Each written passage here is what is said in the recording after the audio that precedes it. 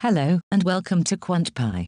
In this video, we are going to explain, both mathematically and visually, the concepts of total and quadratic variations of the Brownian motion. As the concept of variation is, commonly, not covered in calculus courses, we are going to provide some background information first. We will start with an informal account of what is meant by the variation of a function. We then give the mathematical definition of different types of variations, and mention some generalization. We then focus on the total and quadratic variations and show, mathematically, and then visually, their calculations for a few simple, deterministic functions. We then derive formula for the quadratic variation of the Brownian motion paths, showing that the formula holds pathwise. Roughly speaking, the variation of a function means the activeness of the function. It just represents the total movements, or deviations, in the functions, over an interval. The mathematics might look a bit complicated for a minute or so, but it will become very obvious very soon once you have seen it in action. Let f be a function of x, and let the domain of the function be the interval from 0 to b. Let's divide the interval from 0 to b into n subintervals, which we assume to be of equal length, for convenience. So the length of each subinterval is the interval from 0 to b divided by n. Let's k be the index of the subintervals. A generic interval can be represented as follows. Let's enumerate a few intervals to make it real.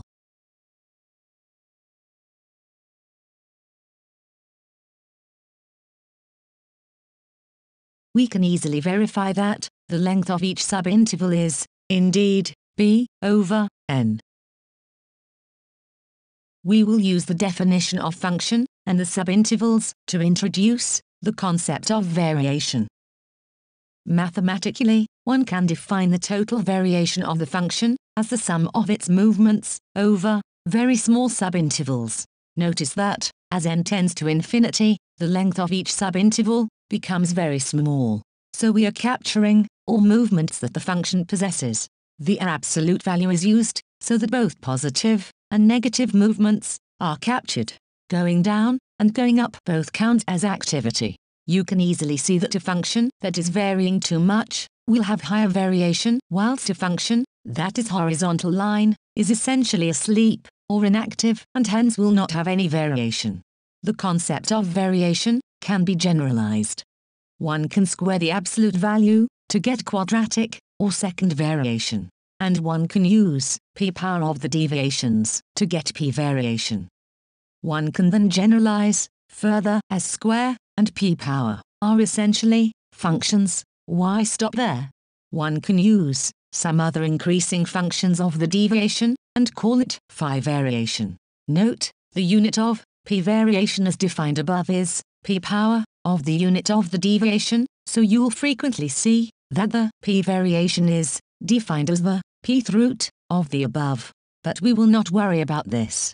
We will only focus on the first and second variations as we can go a long way with just these two concepts. The variation, of course, depends on the partitions that one chooses. If one chooses a different partition, then it is possible that the variation value would be different.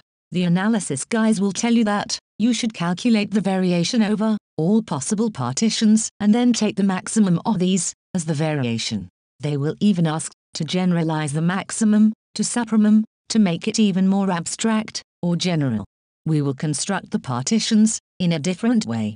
We will start with a given interval, then divide it into two, then divide each subinterval into two, and continue until the partition has become very dense the length of each subinterval will become very small, and the total number of intervals will become very large.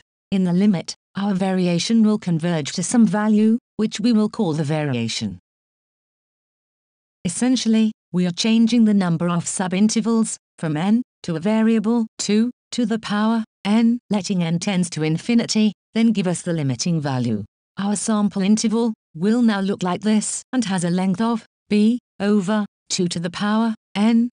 Let's enumerate a few intervals to see how the subintervals under the new scheme will look like.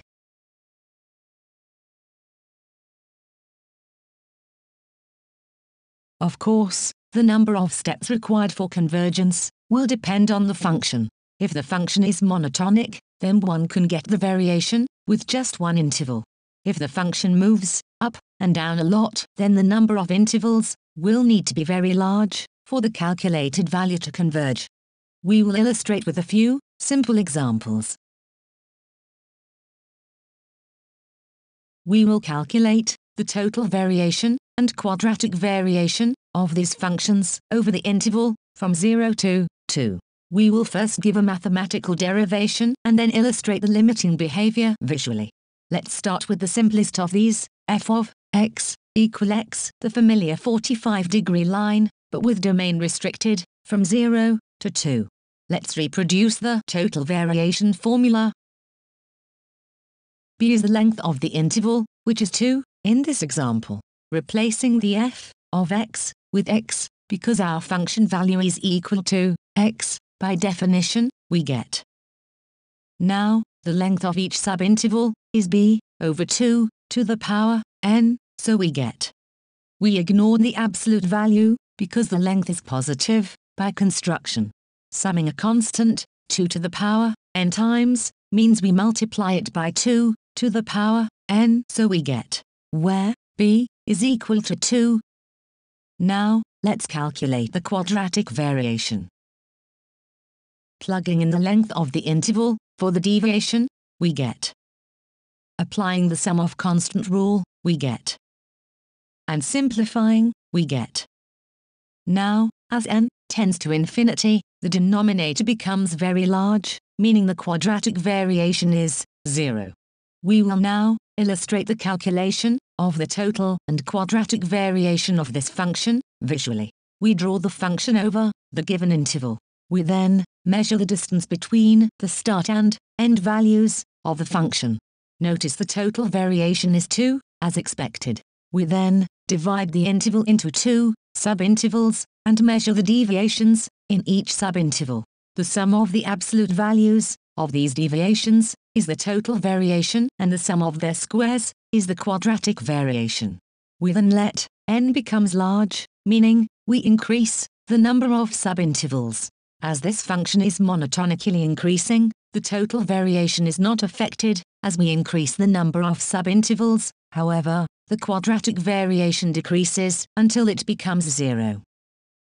To calculate the total variation of the other two functions, it is helpful to derive an alternative formula for the total variation. Let's reproduce the formula. We can use the mean value theorem to write it in terms of the derivative of the function. Where we use k prime for the point where the tangent becomes parallel to the line through the two points. Now the length of the interval is positive, so we can take it out of the absolute value. Now, we know that the limiting sum is, essentially, how the calculus guys introduce integration, so we write it as follows. Let's use this to calculate the total variation of x square. We know its derivative is 2 times x. Integrating its derivative from 0 to 2. Substituting the derivative, noting that x is positive, over the interval, we get. Evaluating the integral, we get. So, the total variation is 4.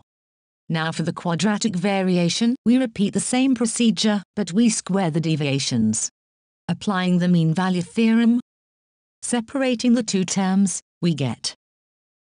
Now, we know the length of each interval is b over 2 to the power n, so we get. Writing this as an integral, and taking the constant out, we get. Now, n is supposed to be large, so the quadratic variation is 0. We will now illustrate the calculation of the total and quadratic variation of this function visually. As in the previous example, we measure the distance between the start and end values of the function. The total variation is 4, as expected. We then divide the interval into two subintervals and measure the deviations in each subinterval. We then keep splitting each subinterval until the partition becomes very dense. As this function is also monotonically increasing, the total variation is not affected, as we increase the number of subintervals, however, the quadratic variation decreases until it becomes zero. Let's move to the third function now. To find its total variation, we first calculate its derivative. We then integrate over the given interval. Now, unlike the other two functions, this function is not monotonic, meaning the derivative changes sign. We will need to be careful about the absolute value. The derivative is 0 at x equal 5 over 6 and is negative to the left and positive to the right of this value of x, as one can easily see from the graph of the function. So to get rid of the absolute value, we divide the interval into two halves. We then multiply the integral over the lower interval by minus 1 to make it positive.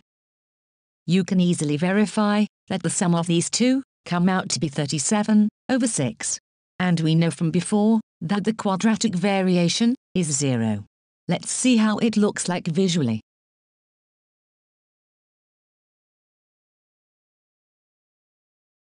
More interesting certainly, and will ease our transition into the Brownian motion. It is time we applied our knowledge to the Brownian motion. We saw in the previous video that the Brownian motion trajectories are not differentiable. So if we were to apply our procedure to calculate its total variation, we will get infinity. Its total variation is indeed infinity. We will calculate its quadratic variation first.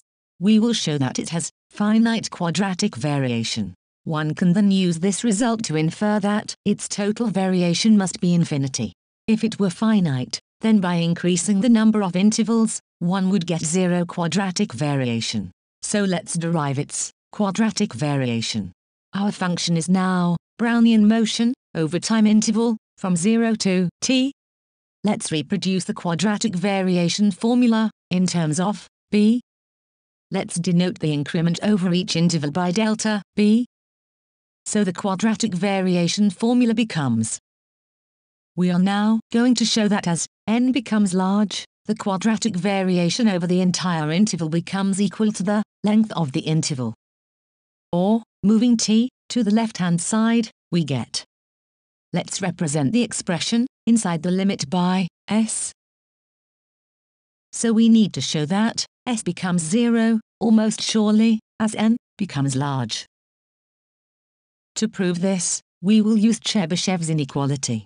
The name sounds complicated, but all it says is that the proportion of values of a random variables that have a distance of more than epsilon from the mean is less than or equal to the variance divided by the square of the epsilon. This will help us establish that the probability that s deviates too much from zero can be made as small as 1 like by increasing n and the Borel-Cantelli lemma will then help us translate this into almost sure convergence. Now, to apply Chebyshev's inequality, we need to find the mean and variance of S as S is the sum of the square of Brownian increments. It would be helpful to recall the formulae for the moments of the Brownian motion from a previous video. Recall that the second moment of Brownian movement over a given interval is the length of the interval. Our interval is defined as follows. So its expected value is the difference between the time indices, which is t over 2 to the power n. And recall that the fourth moment of the Brownian increments is 3 times the square of the interval. So for our definition of increments, this becomes Now, let's calculate the mean and variance of S, taking expectation of both sides. Interchanging sum and expectation. Substituting the expression for the second moment. And applying the sum of constant rule, we get. So the expected value is 0. Now, let's calculate the variance. As the Brownian increments are independent, we can exchange the variance and sum to get Applying the variance formula to the square of the increment, we get substituting the moments and simplifying, we get. Now, let's summarize the key formulae.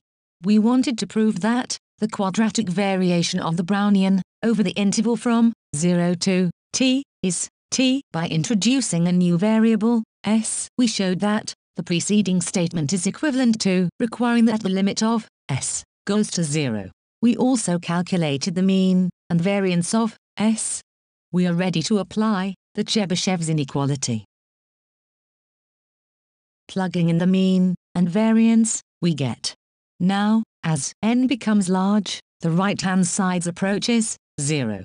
All it is saying is that, given a value of epsilon, no matter how small, we can always make n large, so that the probability that the variable, s, differ from 0 by more than epsilon, approaches 0. And we know, s equals 0, means quadratic variation equals t. And for the more geeky ones amongst us, we can now recast this in terms of Borel-Cantelli lemma. To say that, s approaches 0 almost surely. We will, now, show visually, the calculation of the total, and quadratic, variations of the Brownian motion over the interval, from 0 to 2. For a given sample path, we first divide the interval into two halves. We measure the deviation in each subinterval. The sum of the positive values of these deviations is the total variation, and the sum of the squares of the deviations is the quadratic variation. We will then double the frequency, or as the visual guys would put it, the frame rate, and perform the same calculations. As you can see, the total variation increases, and the quadratic variation approaches 2 as we increase the number of subintervals.